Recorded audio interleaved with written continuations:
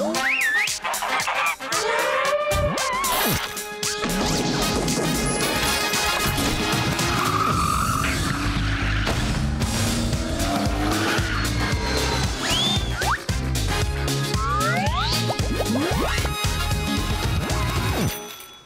黄医师还在补充。对，所以仔细去研究，就说这个我们绝绝非嫉妒啊，绝绝不能说我自己没有做团购做不起来，或者是没有做哈，就嫉妒人家不是，就是看到人家成功，你要去研究人家为什么这样成功。嗯嗯嗯。其实那些网红医师之所以成功，是因为时代的关系，我们现在真的是媒体化了，所以无可苛责。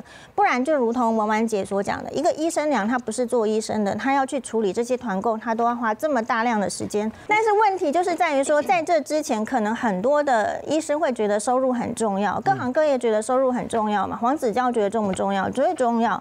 那所以就变成说，他好像必须就要去有个知名度，他才能够做团购。嗯，我想江坤俊医师的太太绝不是因为他叫做刘令晴，所以团购很成功。他所团购的商品里面，只要是有医疗相关的产品，他后面大家会说啊，那你。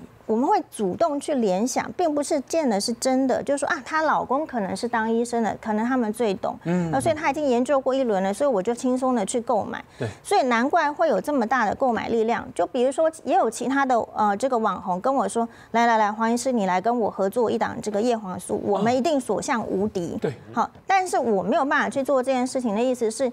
因为我更看重我的医师执照，我不想要帮这这我我我为什么要帮你这个不知名的产品，或者说你说的是这样一套背书呢？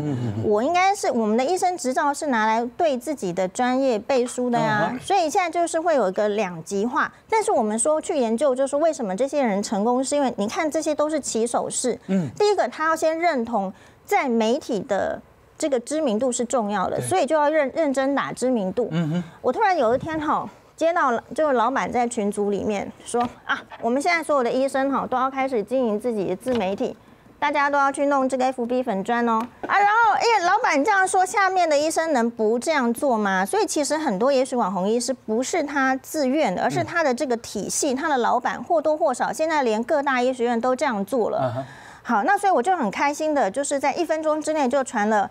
我在哇哇讲这个婆媳问题的这个影片上传了，好就有有经营了，好啊就没有，那我就交作业，好那我就很简单的交作业，那因为我本身就是对交作业这件事情是很敷衍的人，你你想要我们这么做，那就是要花很多时间，可是我的时间不太可能去给你弄这个弄那个，好那你想要老板这样要求的目的是？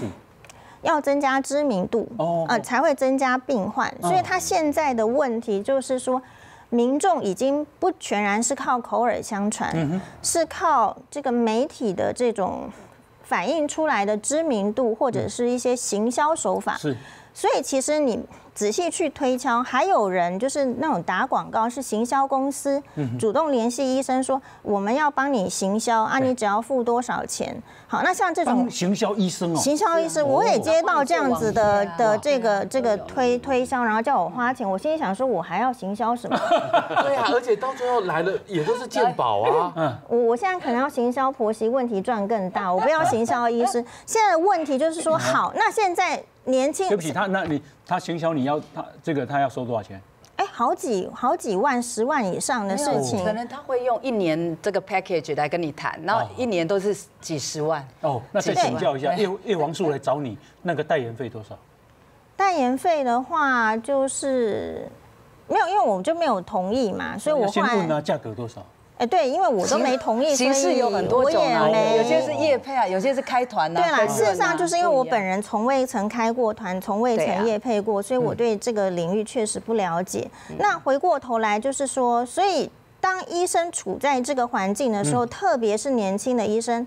难免会受到影响。嗯啊，我是不是应该开始团购、开始业配？我是不是应该开始行销自己？所以你很不赞、很不赞成医疗很商业化哦。啊，我不赞成医疗商过度商业化。它的商业化是就是是因为时代就是商业时代，你也不能不让它商业化。可是如果医疗只讲商业化的时候，医生通常就会更向利益靠拢。对，当医生心中更向利益靠拢的时候。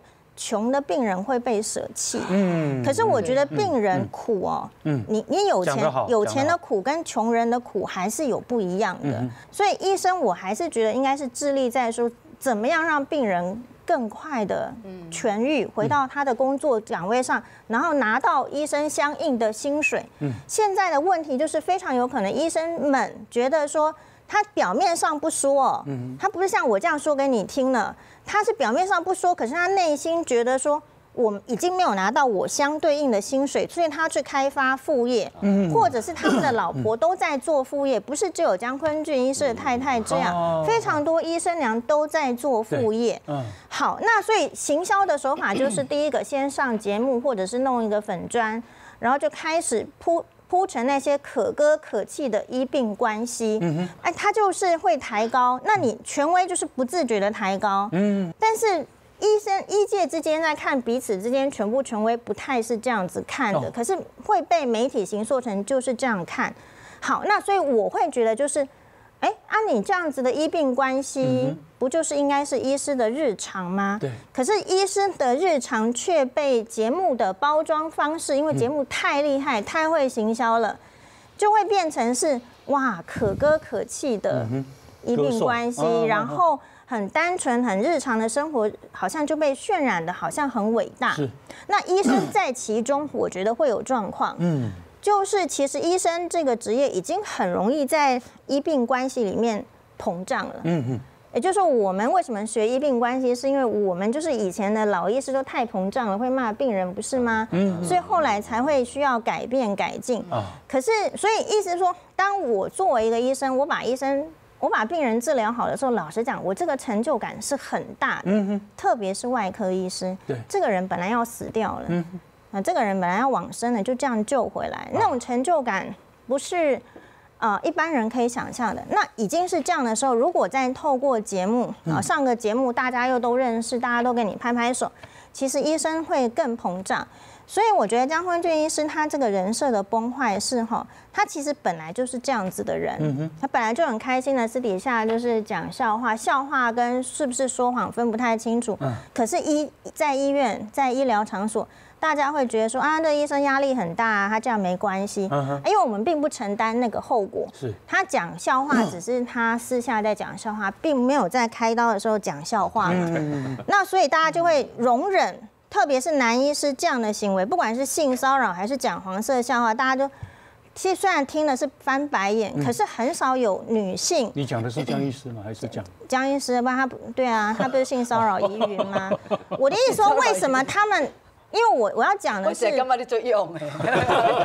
啊，我给你拨红。哦，你觉得就我是 我我的感受是这黄医师讲这一段，对，就是说他不向商业靠拢，啊，嗯，他觉得啊医好本来就是医医技术好本来就是应该是你你该该做的事情，我们会这样。他不应该被歌颂我颂。们会这样，是因为我们深切、更深切的了解，以后我都会生病。嗯嗯，所以我今天对年轻医师能够多理解他们、多关心他们，以后就是保障我自己。是因为我也我不想要生病了，可是却治不好。可是如果整个医界的风气跟走向通通都是。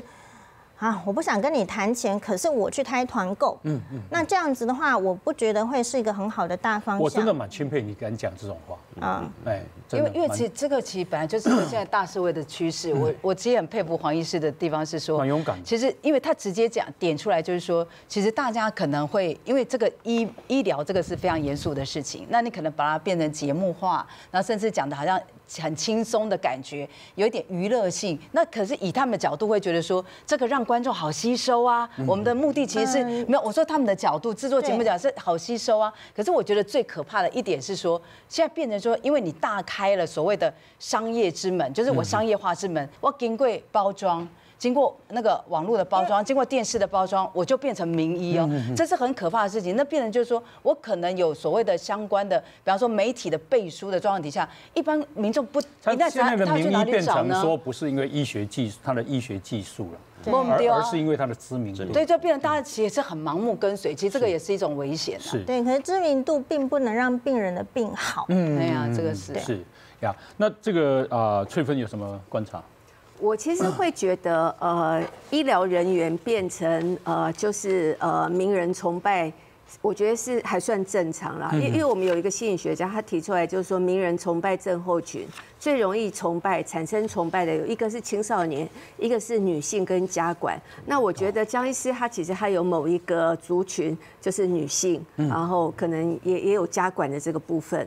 那医师的那个魅力哈，比较带着一种权威，权威的魅力。所以像刚刚黄医师提到的啦，就江医师他还有一个除了权威的魅力以外，他还有一个亲和的魅力。对，嗯，然后他好像会好像在跟你闲聊的过程当中来抚慰你。那通常如果一旦形成这种粉丝名人症候，就崇拜的症候群啊，他在心理上就会不一样哦。他在心理上就会觉得我跟你有特别的情感跟关系，嗯嗯，所以那个情感跟关系会变，你叫我做什么我都会做，你叫我买什么我就会买。哎，我真的有遇过有一些呃，就是我的当事人可能是某个人的粉丝，然后他就说他跟我讲什么，我立刻去。我立刻买，我立刻做，我立刻听，然后他说的是每一句话我都照做，然后他们真的可以对呃他的粉丝们形成这样子一个强大的指导的力量，我我真的不得不佩服。他说什么他们都会照着做。那其实这些造神运动啊，不可否认还是有很大的光环效益在里头。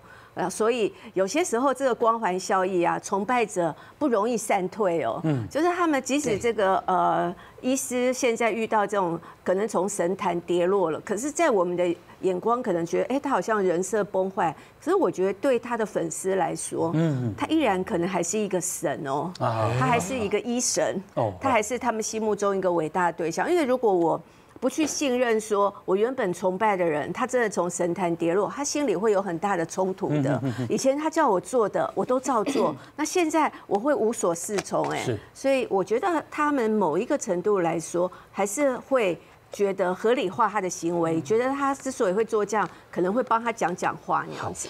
因为啊，有传出来说江医师啊啊，对于性骚扰这件事情啊，那 可是江医师啊，他说。他严正的声明，绝无性骚扰这件事情。可是事隔几天啊，这个跟他本来是共同的主持人郑凯云，他在社群发布文章，啊，他说从小爸爸妈妈就教他做人要抬头挺胸，凡事要对得起自己的良心。成为母亲之后，他也教导孩子绝对不能够欺负人，更不能做错事还不承认。更不能做错事还不承认好！那呃，这个到底有没有性骚扰这件事情？等一下再来请教玉峰。好，来先休息一下。嗯。